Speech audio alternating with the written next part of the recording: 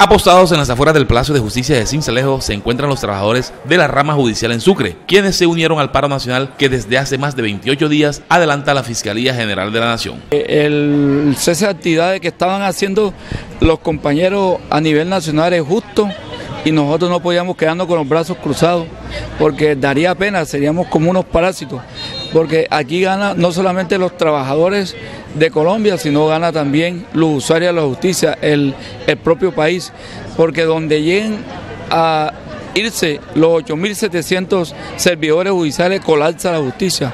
El hacinamiento sería mayor, ustedes saben cómo están las cárceles, eso es detrimente, eso causa estupor. Eh, ellos pueden estar sindicados, condenados, etcétera, pero merecen otro trato. Eh, los derechos eh, humanos deben aplicárselo.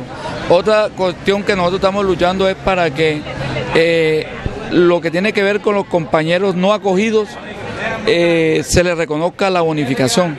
Son aquellos compañeros que tienen más de 30 años de estar trabajando y que han dado la vida, la salud acá a la rama judicial y no se, no se le quiere reconocer la bonificación que ahora mismo se le está reconociendo a todo el mundo. Para mañana se tiene prevista una reunión entre los directivos de Azonal Nacional con el gobierno. Si se logran acuerdos se levantará el paro, si no, se irá indefinidamente.